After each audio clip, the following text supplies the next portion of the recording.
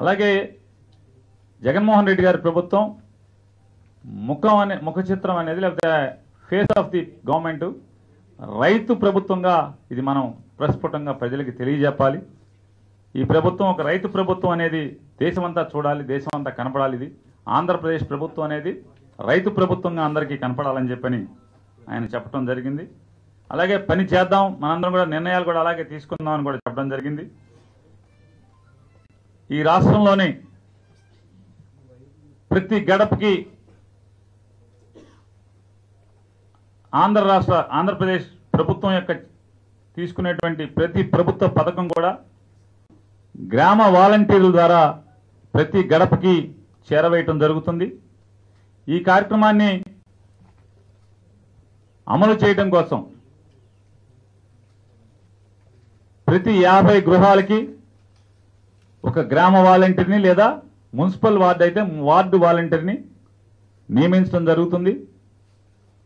దానికి ఆల్రెడీ ప్రభుత్వం నోటిఫికేషన్ ఇచ్చి ఆ నోటిఫికేషన్ ద్వారానే పారదర్శకంగా సెలెక్ట్ చేయడం జరుగుతుంది తప్పితే ఎక్కడా కూడా నామినేషన్లు కానీ లేకపోతే మా సొంతానికి మేము వేసుకోవటం కానీ అనేది ఉండటం అనేది తెలియజేస్తూ అట్లాగే ఈ గ్రామ వాలంటీర్ల వ్యవస్థనంతా కూడా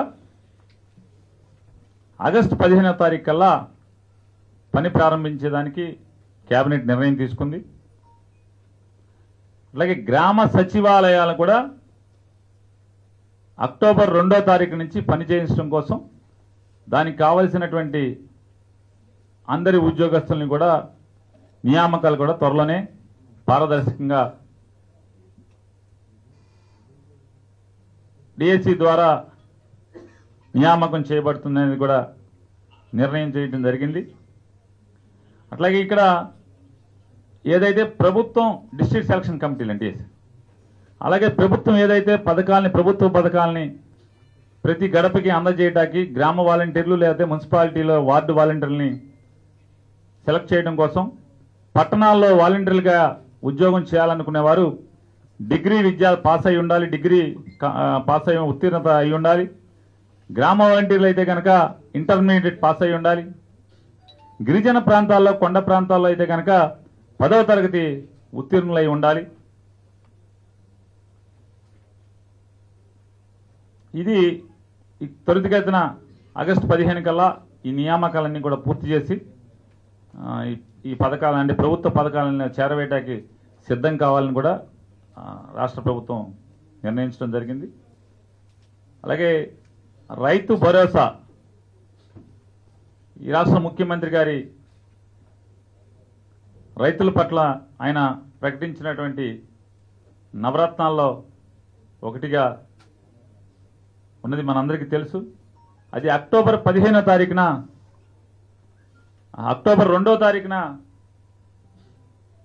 అక్టోబర్ రెండవ తారీఖున ప్రారంభం చేయబడుతుంది జరుగుతుంది.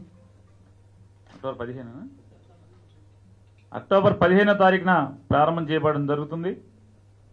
ఈ పథకం కింద ప్రతి రైతుకి పన్నెండు వేల ఐదు వందల రూపాయలు అందజేయడం జరుగుతుంది.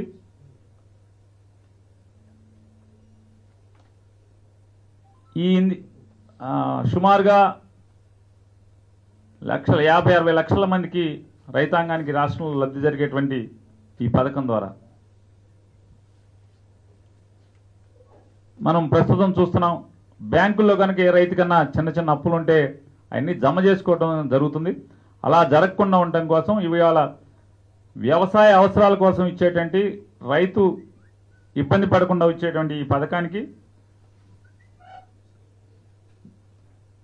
బ్యాంకులు ముట్టుకోకుండా ఉండే పద్ధతిలో చెక్కులు ఇవ్వడం జరుగుతుంది. అవసరమైతే కమర్షియల్ బ్యాంకులో కనుక మాట్లాడేది సాధ్యం కాకపోతే ప్రాథమిక వ్యవసాయ సహకార సంఘాల ద్వారా ఈ ఏర్పాటుని చెక్కులు అది కూడా ఈ చెక్కుల్ని కూడా గ్రామ వాలంటీర్లు వార్డ్ గ్రామ వాలంటీర్ల ద్వారా ప్రతి రైతుకి వాళ్ళ గడపలోకి అందజేయటం జరుగుతుంది. అలాగే ఆంధ్రప్రదేశ్ రాష్ట్ర రైతు కమిషన్ కూడా ఏర్పాటు చేయాలని కేబినెట్ నిర్ణయించడం జరిగింది. వ్యవసాయంలో పురోగతి రైతు సంక్షేమం ధరల స్థిరీకరణను ఈ కమిషన్ పర్యవేక్షిస్తుంది. ఈ కమిషన్కి రాష్ట్ర గౌరవ ముఖ్యమంత్రి గారు చైర్మన్గా ఉంటారు. ఆరు లేదా ఏడు మంది సభ్యులుగా ఉంటారు. దీంట్లో రైతు సంఘ నాయకులు నిపుణులు సభ్యులుగా ఉండటం కూడా జరుగుతుంది. త్వరలో ఈ కమిటీ కొద్ది రోజుల్లోనే ఏర్పాటు చేయడం జరుగుతుందనేది కూడా మీకు తెలియజేస్తున్నాం. అట్లాగే రైతులందరికీ కూడా వడ్డీ లేని రుణాల్ని ప్రారంభించాలని కూడా జగన్ గారి నాయకత్వంలోని కేబినెట్ నిర్ణయం తీసుకుంది. దీనికి త్వరలో వైఎస్ రాజశేఖర రెడ్డి గారి పేరు మీద పథకాన్ని కూడా పేరు అనౌన్స్ చేయడం జరుగుతుంది. పంట రుణాలు తీసుకున్నటువంటి ప్రతి రైతుకి కూడా ఆంధ్రప్రదేశ్ రాష్ట్రంలో పంట రుణం తీసుకున్నటువంటి ప్రతి రైతుకి కూడా వడ్డీ చెల్లించే అవసరం లేకుండా రాష్ట్ర ప్రభుత్వమే బ్యాంకులందరితో కూడా ఒక ఏర్ప ఒక ఒప్పందం చేసుకుని బ్యాంకు ప్రభుత్వం వచ్చిన ఒప్పందం మేరకు ఆ వడ్డీలన్నీ కూడా సరాసరి ప్రభుత్వం బ్యాంకుకు చెల్లించడమే కాకుండా ఆ చెల్లించిన వడ్డీ తాలూకు బ్యాంకు రసీదుని ఈ గ్రామ వాలంటీర్ల ద్వారా రైతుకి చేరవేయటం కూడా జరుగుతుంది. ఈ విధానం ఎక్కడా కూడా అనుమానాలకు కానీ లేకపోతే దాట వేసే కార్యక్రమం కానీ వడ్డీలు పెరిగిపోయి వడ్డీకి వడ్డీ చక్ర వడ్డీ గత ప్రభుత్వంలో లాగా బ్యాంకుల వారు రైతులను జప్తులకు మీదకు వచ్చే పరిస్థితి ఇది లేకుండా. వడ్డీ చెల్లించిన బ్యాంకుకి ప్రభుత్వానికి జరిగిన ఒప్పందం ప్రకారం ఏ తారీఖుల్లో అయితే వడ్డీలు కట్టాలో ఆ కట్టిన వడ్డీ రసీదుని రైతుకి అందజేయడం జరుగుతుందనేది నిర్ణయం చేయడం జరిగింది. గడచిన ప్రభుత్వంలో పెద్దలు చంద్రబాబు గారి చంద్రబాబు నాయుడు గారి నాయకత్వంలో రెండు వేల పద్నాలుగో సంవత్సరం నుంచి రెండు వేల పంతొమ్మిదో సంవత్సరం వరకు రెండు వేల రూపాయల రెండు వేల కోట్ల రూపాయల ఇన్పుట్ సబ్సిడీని రైతులకు ఇస్తానని చెంచి చెల్లించాల్సిన బాధ్యత పడి కూడా వారికి చెల్లించకుండా బకాయిలు పేర్చుకో పేర్చడం జరిగింది. ఇది రైతు ప్రభుత్వంగా మనం నిరూపించాలి అనే ఒక లక్ష్యంతో జగన్మోహన్ రెడ్డి గారు పనిచేస్తున్నారు కాబట్టి. ఈ ఆంధ్రప్రదేశ్ రాష్ట్రం రైతు ప్రభుత్వంగా మనం పరిపాలించాలని నిర్ణయించారు కాబట్టి రైతులకి గత ప్రభుత్వం రెండు వేల పద్నాలుగు నుంచి రెండు వేల పంతొమ్మిది వరకు గతంలో రైతులకు చెల్లించకుండా పేరబెట్టినటువంటి రెండు వేల కోట్ల రూపాయల ఇన్పుట్ సబ్సిడీ మొత్తాన్ని కూడా చెల్లించాలి రైతులకి తక్షణమే అని చెప్పని కూడా రాష్ట్ర మంత్రిమండలి నిర్ణయించడం జరిగింది. అలాగే ప్రకృతి వైపరీత్యాల సహాయ నిధి కెలామిటీస్ రిలీఫ్ ఫండ్ కింద మరో రెండు వేల కోట్ల రూపాయలని ఏర్పాటు చేయాలని చెప్పని మంత్రివర్గం నిర్ణయించడం జరిగింది. మూడు వేల కోట్లతో మార్కెట్ స్థిరీకరణ నిధిని ఏర్పాటు చేయటం కొరకు నిర్ణయించడం జరిగింది.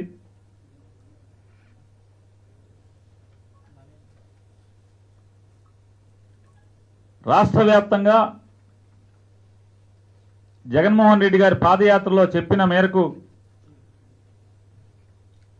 రైతులకు ఉచిత బోర్లు ఏర్పాటు చేయడం కోసం ప్రతి నియోజకవర్గానికి ఒకటి చొప్పున అలాగే పార్లమెంట్ నియోజకవర్గానికి ఒకటి చొప్పున మొత్తం రెండు వందల రిగ్గుల్ని బోర్లు ఉచిత బోర్లు ఏర్పాటు చేయడం కోసం రెండు వందల రిగ్గుని ప్రభుత్వం కొనుగోలు చేసి అవన్నీ కూడా ఆయా నియోజకవర్గాల్లో పార్లమెంట్ కేంద్రాల్లో అందుబాటులో ఉంచి అసెంబ్లీ నియోజకవర్గానికి ఒకటి పార్లమెంట్ నియోజకవర్గానికి ఒకటి.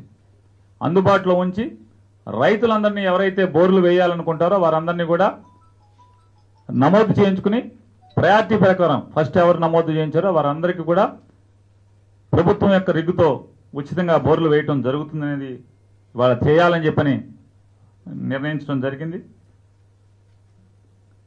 ధాన్యానికి కనీస మద్దతు ధర అంటే పండించిన పంటకు కనీస మద్దతు ధర రావడం లేదని క్యాబినెట్ దృష్టికి వచ్చింది ఈ రోజున.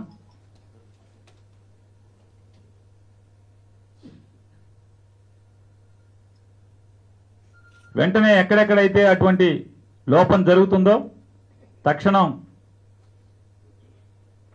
ఆ చోట్ల ప్రభుత్వం కొనుగోలు చేయాలని చెప్పని ముఖ్యమంత్రి గారు ఆదేశించడం జరిగింది అధికారులకి.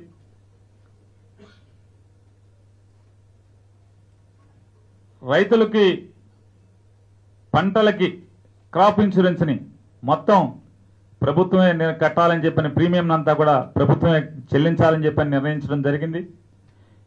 ఇక మొత్తం వ్యవసాయానికి ఎక్కడైతే సాగు జరుగుతుందో సాగు జరిగేటువంటి ప్రతి భూమికి కూడా వ్య- వ్యవసాయ ఇన్సూరెన్స్ని ప్రభుత్వం చెల్లిస్తుంది. కేవలం ఇన్సూరెన్స్ చెల్లించి అది అక్కడితో బాధ్యత అయిపోయిందనేది చేతులు దులుపుకోకుండా.